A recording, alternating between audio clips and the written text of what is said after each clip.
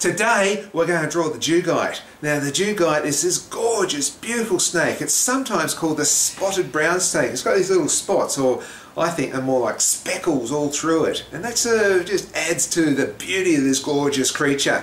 So, get out your pencil, get out your paper, whatever you're going to make a mark with, and start drawing with me.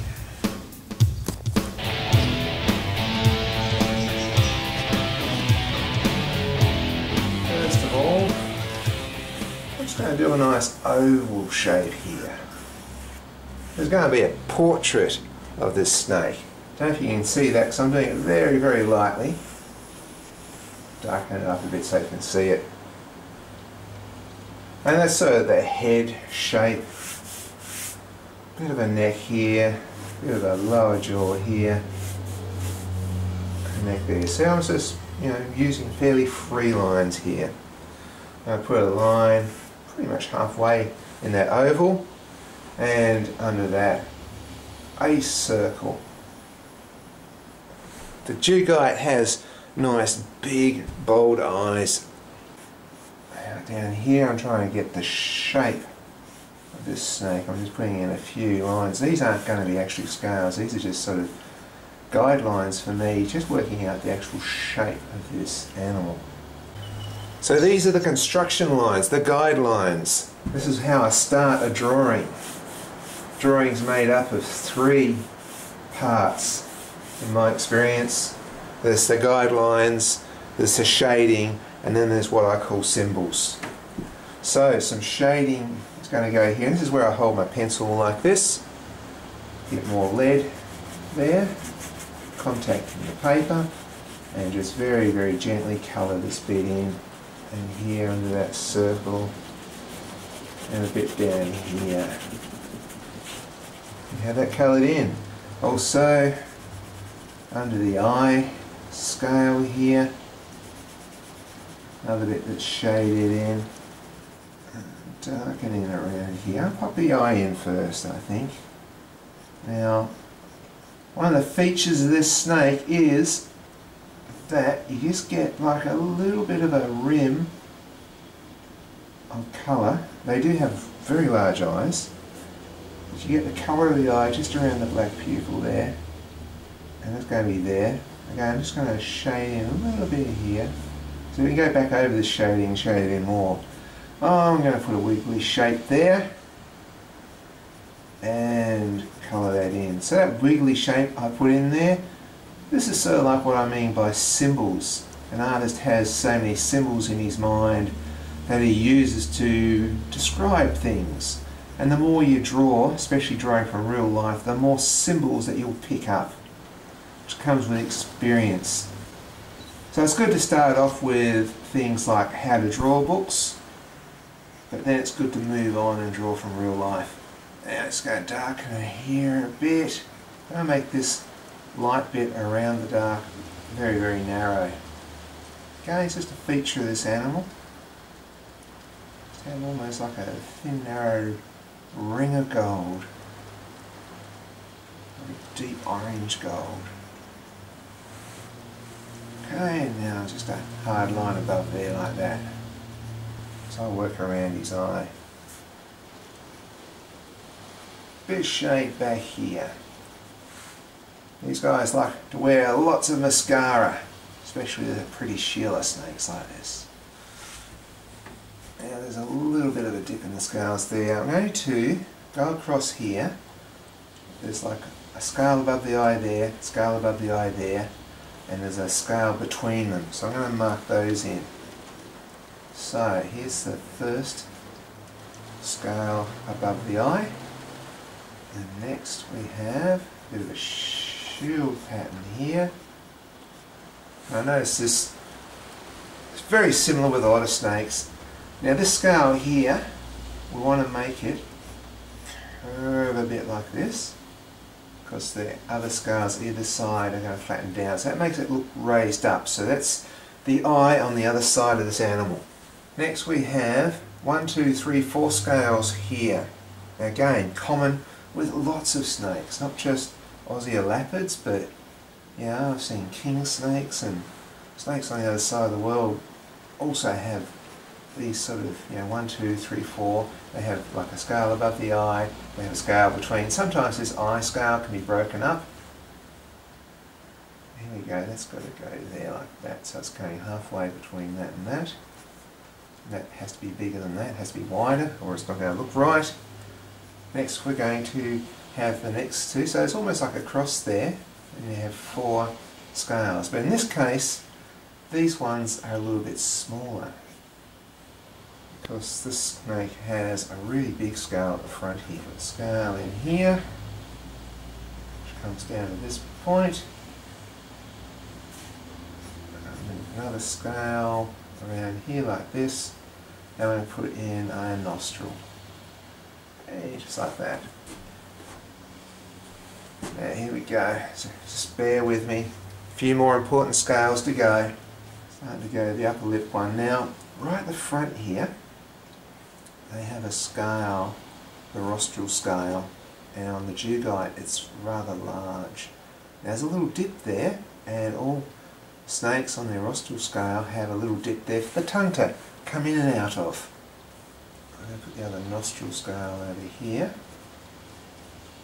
A bit of shade there, but this here, from here to here, is wider on the dugite than most snakes. That's one of the features. When you're drawing a snake, you've got to look for the features that separates it from other snakes. If you want to do it species specific, you've got to make sure you get all those little tricky bits in that other snakes don't have. As I say, this is fairly common. You got your uh, eye scale, eye scale, I'll make that one in a bit. You've got one between, and then on a lot of snakes, usually back here, you've got divided two big, like solar panels. I call them solar panels on the diurnal snakes, the snakes that come out during the day.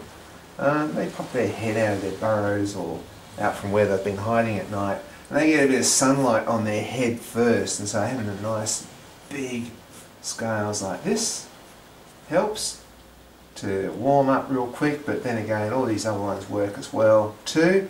They're broken up for movement. So under the eye we have just a line going down like that. Eh? This is going to be breaking up of the scales. Going to do a shape like this. Going to get this one here to here, another one, and here. Join that up there.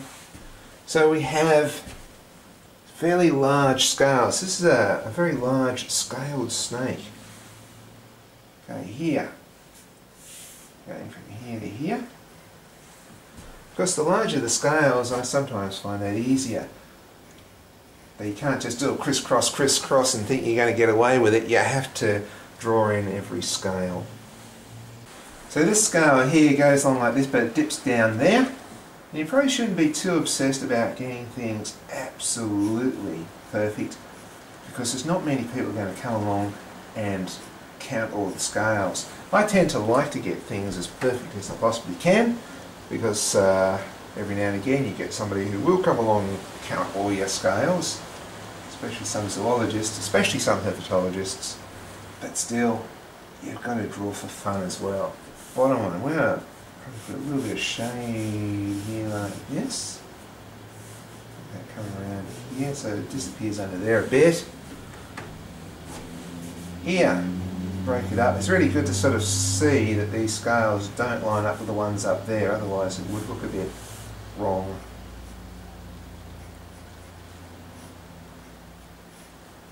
Okay, good size scales. It's looking intense. Darken this up a bit. Well, hey, look at that. Now I'm going to go on to a, a, a, usual trick that I use here. I'm going to do some scales there because it yeah, just look good. So where I'm going to do the rows of scales, I've just got here some lines. I'm going to thin out a bit here. I'm going to make my old famous brick wall, which I discovered way back in the 90s. It's a really good way of drawing snakes. Scales around here pretty short, so it's going to be like a short, fat brick wall. If you've got a little bit of drawing experience, you can see what I'm doing here. And I'm going to make the bricks go around here like this. Those bricks are going to come around here like this. I need more lines here. Lovely brick wall. Now, replace each one of those bricks with a sort of, it's almost like a diamond shape, like this is a bare diamond shape, but we're going to make it rounded, a rounded diamond shape, and they all sort of tend to interlock together a little bit, which is nice. So this side of the bricks, they sort of swell out a bit. I don't want it to look too much like diamond shapes, then it'll look a bit more like a tiger snake. We don't want that. Because this is our dugite. Most feared snake in the Perth region of Western Australia. I want to get to these ones here, just so do what you can, make them a little bit more, just like little curves. It's like sneaking in little brackets there really.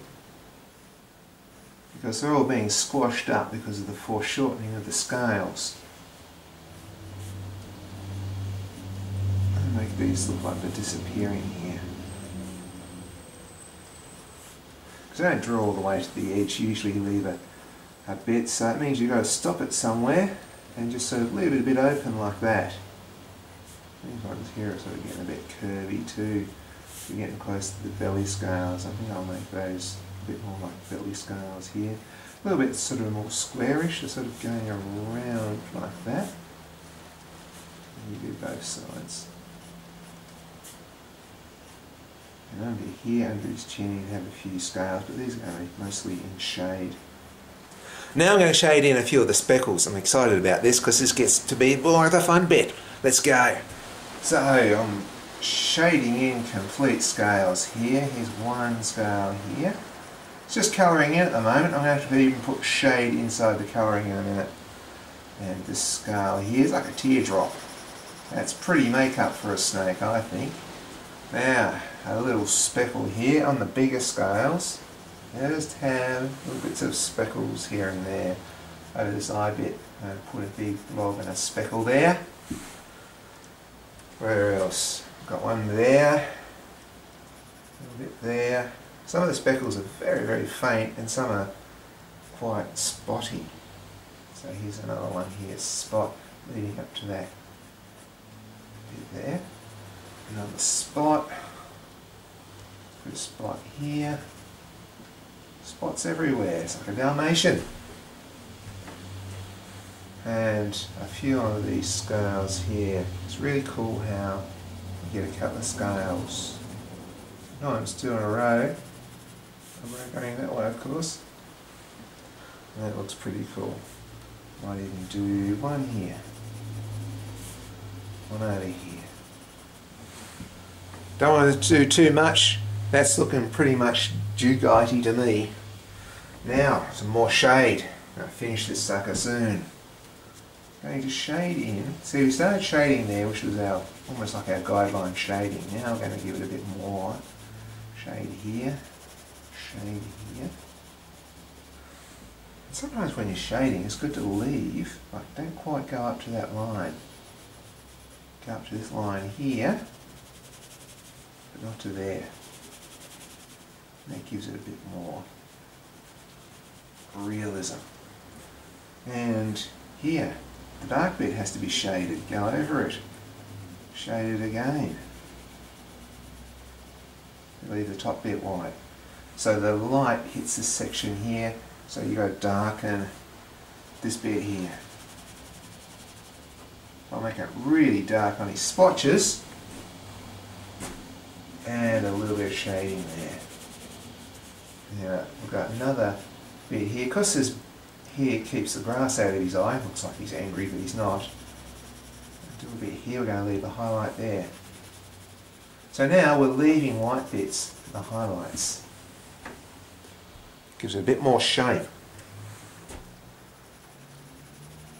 Bit of shade there. Now, shading under here. See I put my pencil on the side like that? Some people hold it like that. Something like this, which is a bit hard. Sometimes I just hold it like that. That way I can sort of almost point the sharp bit in where I want a bit more of a fine detailed shape. But now I'm darkening in that mouth to make it really stand out.